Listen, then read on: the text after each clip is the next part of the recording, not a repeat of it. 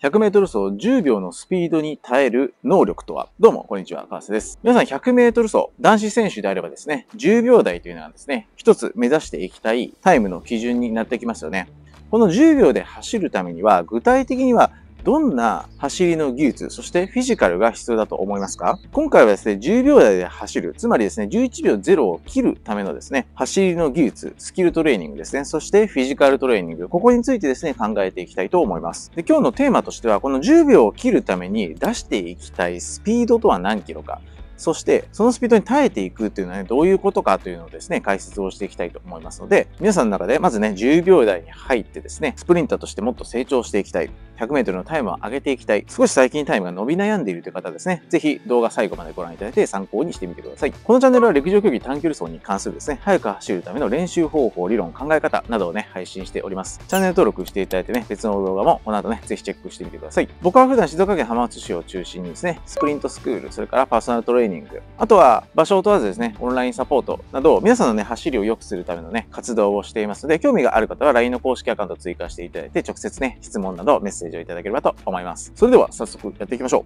う。はい。まずね、考えていきたいのはですね、100メートルを10秒台で走るためには、どんな能力が必要か、そして100メートル10秒台のスピードに耐える能力とは何かという話からしていきたいと思います。まず、今回のターゲット記録である 100m10 秒台、つまり11秒0を切っていくということですね。11秒0でね、100m 走るためには皆さん何キロぐらいのトップスピードが必要だと思いますかね。まあ、ちょっとね、選手個々でトップスピードのね、出方とかですね、まあ、スピード持久力、あとはスタートが得意不得意などもあるかなと思いますので、一概には言えないんですけども、およそですね、秒速10.3メートルぐらい進むことができるトップスピードをね、発揮できればですね、まあ、11秒を切っていく、10秒で走ることができるかなと思います。つまり、時速に換算すると37.1キロ。このあたりは出していきたいというわけですね。なので、もっともっと速い選手、9秒で走るような、桐生選手や山形選手、このあたりの選手になってくると、やはり41キロ、2キロとね、出てくるし、あとは、ウサイン・ボルト選手ですね。世界記録を出すような選手であると、44キロから45キロぐらいと。このように、その選手が発揮できる最高スピードですね。トップスピードと言いますけども、ここは違ってくるわけなんですけども、まあ、11秒0を切っていくのであればですね、まず37.1キロを目指していきましょうということですね。で、今日考えていきたいのは、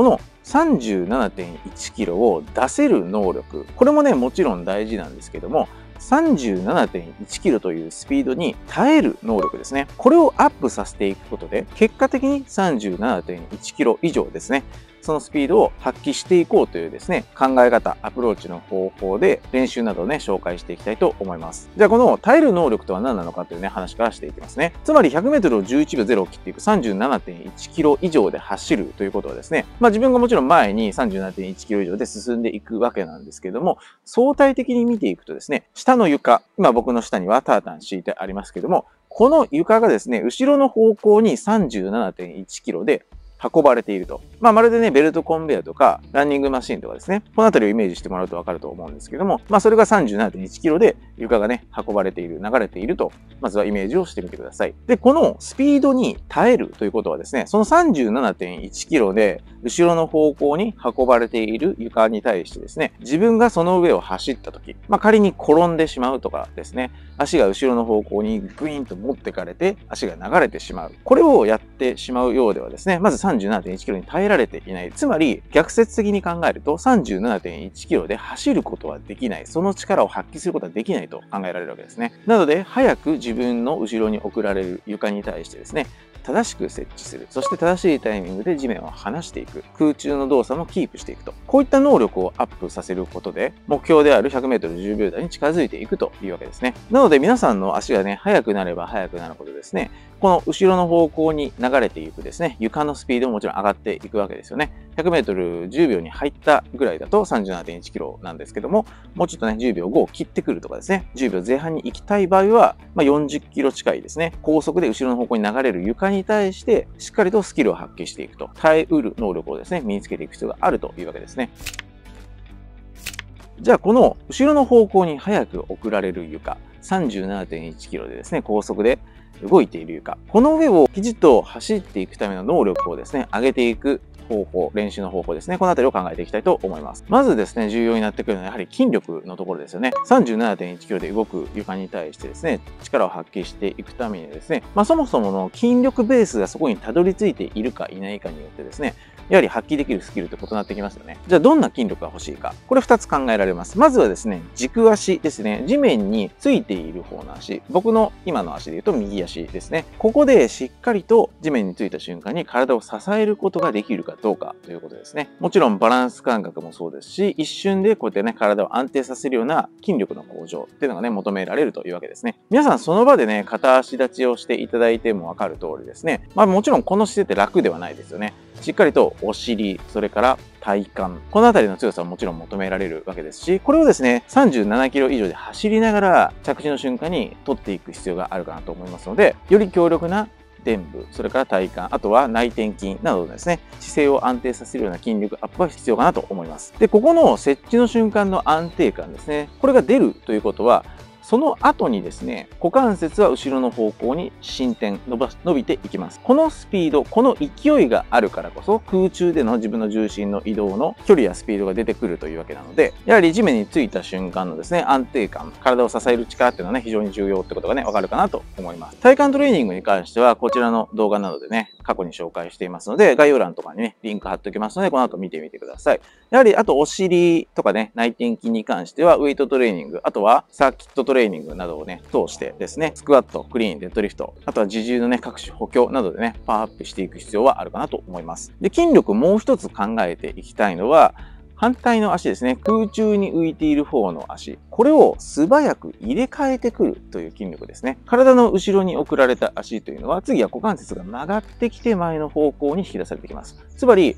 後ろにですね、早くギュンと37キロで送られた足を、後ろにね、それ以上行かないようにブレーキをかけて前方向に持ってくるということで、ここも強力な筋肉が必要ですよね。そして逆に前方向に引き出された足を次は設置に向かう必要がありますので、曲がっている股関節を伸ばしてくると、この筋力も必要ということですね。なので先ほど言った臀部、お尻の筋肉もそうですし、ハムストリングスですね、レッグカールとかですね、デッドリフトなどで鍛えていく必要もね、あるかなと思いますし、股関節を曲げてくるね、腸腰筋とかですね、このあたりの強さやスピードもね、求められてくるというわけですね。あとはもちろん足だけではなくて、腕もですね、素早くスイングしていく必要があるかなと思いますので、しっかりと37.1キロ以上に耐えうるですね、足のスイング、それから腕のスイングと、これがね、実現可能な筋力の大きさ、あとは力を発揮できる時間を短縮していくと。ここは必須になってくるかなと思います。じゃあもう一つ考えていきたいのは、技術面ですね。スキルのところです。やはり、先ほどのね、フィジカルのところもね、もちろん大事になってくるんですけども、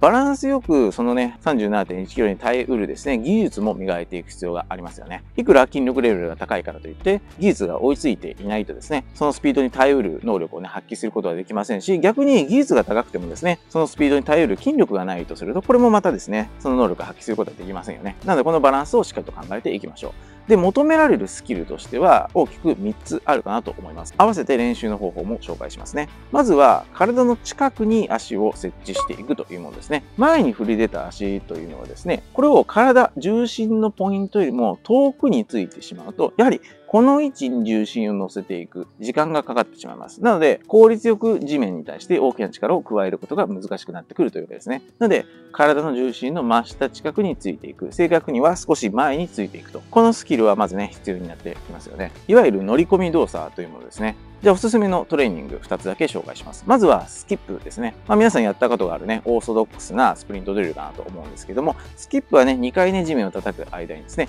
前に引き出た足に対して体重を乗せていくと、そのイメージがつかみやすいという特徴があるのと、足がね、後ろの方向に送られてからですね、これが流れにくいよという特徴があります。なので、イメージしてほしいのは、遠くに足を出して、その位置に対して次のね、地面のキックでしっかりと乗り込んでいくと、腰を乗せていくと、そんなイメージを持ってね、スキップをやってみるといいかなと思います。で、スキップからスプリント動作にね、切り替えていくなどですね、スキップの良い動きを走りにね、落とし込んでみてください。もう一つおすすめはストレートレッグというものですね。膝をね、まっすぐに伸ばした状態、つまり足をね、まっすぐストレートレッグですね。この状態で股関節の曲げ伸ばし動作で前に進んでいくというドリルですね。これもスムーズに前に進んでいくためにはですね、自分の重心をね、やはり真下近くに設置していく必要があるんですね。これね、体の前すぎてしまうと、余分にハムストリングスなどの力を使ってぐーんとね、運んでいく必要があります。やはりこれでは効率性は落ちますし、怪我のリスクも高まってきますので、しっかりと自分の重心の近くに落としていくと。で、この股関節を進展させる方にアクセントをね、置いてもらうとですね、ストレートレッグうまくできてくるかなと思いますので、これもうまくできてきたらですね、ストレートレッグの動作からですね、スプリントに切り替えてみると。そういった練習をしてみてください。それから求められるスキル2つ目はですね、シザースを合わせるということですね。シザースというのは、走っている最中に左右の足が入れ替わると。ハサミという意味があるので、この足と足の間にいる空気を直近と切ってあげるという意味ですね。で、シザスを合わせるということは、この地面につくタイミングで左右の膝が遠いとこにならないようにしてくださいということです。なるべく近い位置で左右の膝がね、クロスしていく、入れ替わっていくっていうのがね、大事になってきます。じゃあこれをね、意識していく方法、一つ目としては、ハードルを使ったですね、このシザースのドリルが有効ですね。ハードルを2台並べてもらって、その間に自分は立ちましょう。で、この姿勢でね、リズムをね、ある程度刻みながらですね、素早いシザース動作をやってみてください。地面につく瞬間に反対の足はもう引き上がっているようにしていくと。で、少しね、レベルの高い方はね、チューブなどをつけてですね、ちょっと負荷を高めてみても面白いかなと思います。あともう一つおすすめなのは、散歩のマーク層というものですね。皆さんの足で測っていただいて、まあ、15足長から20足長で5つマークを並べてみてください。で、この間はですね、散歩で駆け抜けてみましょう。最初ですね、5メートルぐらいね、助走をつけてもらってですね、1個目のマークをクリアしていきます。で、スピードがね、だんだん乗ってきた状態でですね、後半のマークですね、4個目、5つ目のマークをクリアしていきます。で、そこでね、やはりマークの近く感じてくるわけですよね。その中でさっき言ったスキルとね、ちょっと連結してくるんですけども、必ず自分の重心の真下近くに落としていくと。で、歩幅が制限されているので、後ろ足を前に持ってきやすい。つまり、シザスのタイミングが合わせやすいということですね。なので、このね、3歩のマーク層を5個ぐらいね、マーククリアしてもらったら、上がったリズムそのままにですね、軽く20メートルぐらいね、スプリントしてもらうと、自然にピッチアップするですね、感覚がですね、獲得できるかなと思います。はい、もう一つ求められるスキルとしてはですね、正しいタイミングでリチしていくということですね。皆さんによくね、設置のところはかなりですね、大事と聞くかもしれませんし、まあ、設置のね、感覚を磨いていくドリルってね、いっぱいあるかなと思うけども、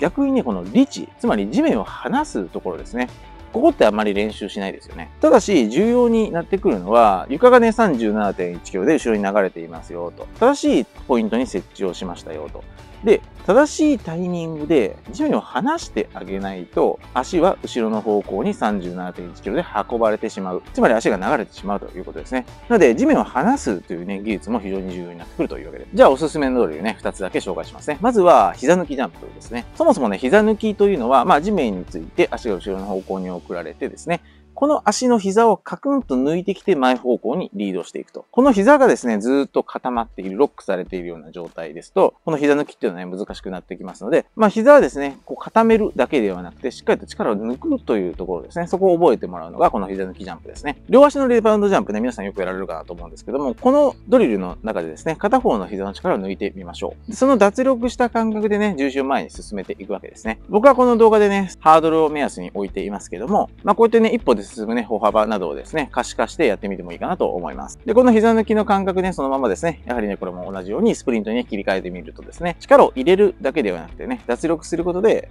まあ、推進力を得られると。そのあたりのね、感覚もですね、習得できるかなと思います。もう一つおすすめはギャロップですね。タターンタターンのリズムでですね、片方の膝を前方向に大きく引き出して重心を運んでいくドリルですね。まあ、よく跳躍選手がやるかなと思うんですけども、短距離選手で行っていきたいギャロップとしては、なるべくね、水平方向に移動するようなギャロップロップですね。なので、前足の膝をできるだけね、水平に遠くに早く引き出していくことが重要ですけども、それに合わせてですね、正しいタイミングでね、自然にね、地面を離すことができるかなと思います。なので、このギャロップね、5歩ぐらいやってもらったらですね、そのまま素早くですね、スプリント、走りに切り替えてもらうとですね、ダイナミックかつですね、クイックな動作ね、獲得できてくるかなと思いますので、非常にね、おすすめなドリルです。まあ、ちょっとね、やり方難しいものになってきますけども、僕のね、デモンストレーションね、参考にですね、ぜひ繰り返しやってみてください。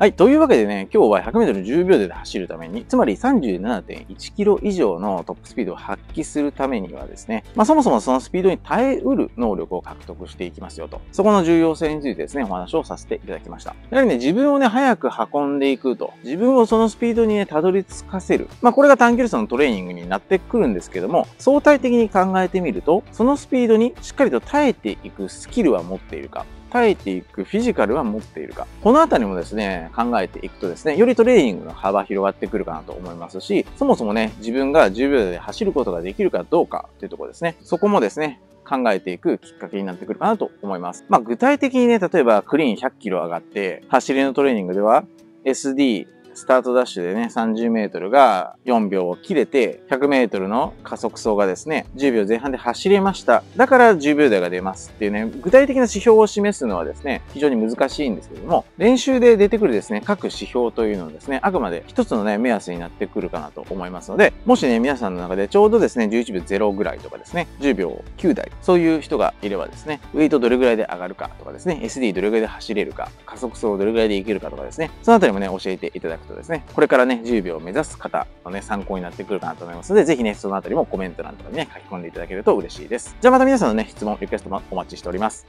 ではまた。